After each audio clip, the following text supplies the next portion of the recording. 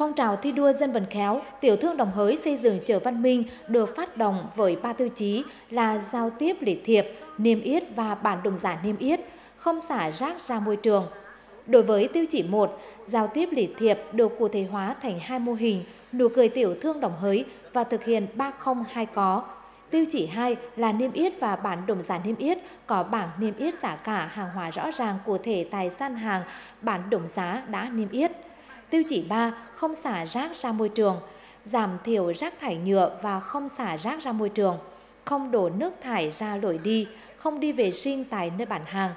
Đồ ăn thức uống được bảo quản trong tủ kính, đảm bảo vệ sinh khi chế biến thức ăn chính. Hàng hóa kinh doanh được trưng bày khoa học gọn gàng, không lấn chiếm lòng đường, trưng bày đẹp mắt theo từng ngành hàng, nhóm hàng. Phong trào được phát động ở tất cả các chợ trên địa bàn thành phố, trong đó lựa chọn chợ Đồng Hới và chợ Nam Lý làm điểm trong năm 2024. Tại lễ phát động, đại diện ban quản lý các chợ, chi hội tiểu thương, các tổ ngành hàng đã tiến hành ký cam kết thực hiện tốt cả tiêu chí của phong trào thi đua dân vận khéo, góp phần xây dựng hình ảnh tiểu thương Đồng Hới văn minh lịch thiệp.